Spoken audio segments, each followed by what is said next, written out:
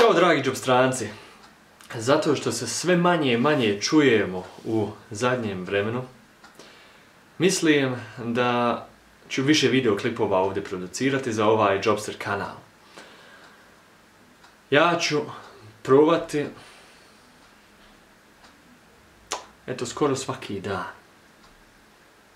Eto svaki dan je cilj, svaki dan video ovdje postaviti na Jobster kanal kanal, jer imam dosta, dosta stvari o kojima bi s tobom htio pričati u vezi života, u vezi biznesa, u vezi inspiracije, informacije, ljubavi, posla, posla u Njemačku, ali to je mali dio.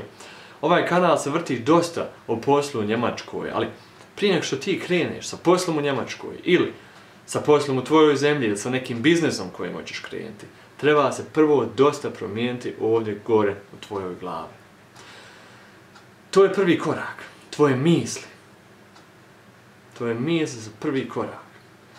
I o tim mislima ćemo pričati. O osjećajima ćemo pričati. O mogućnostima života ćemo pričati.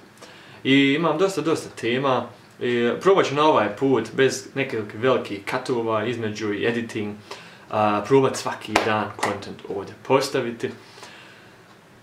To mi je cilj. Imam ja posao ovdje u Njemačkoj uh, i biznes jedan u Njemačkoj i tu dosta, dosta vremena trošim.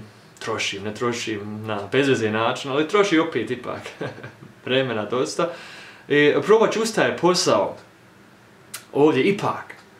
Eto, to postavljate. To je informacija za tebe, kratka. Tu kako hoću ovaj kanal da dalje raste. Ako si prvi put ovdje na ovom kanalu, onda dobar dan, dragi džobstranac. I dobro si došao ovdje.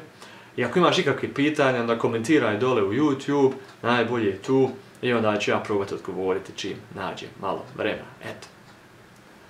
Dobar dan, dragi džobstranac i sve najbolje na tvom putu. Ćao.